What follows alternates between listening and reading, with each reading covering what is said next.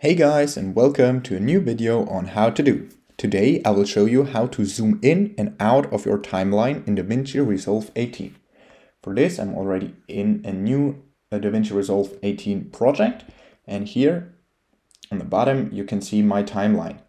Now of course it's a big timeline and I don't see the end right now. So what you want to do is go here on the minus until now you should see all of your project.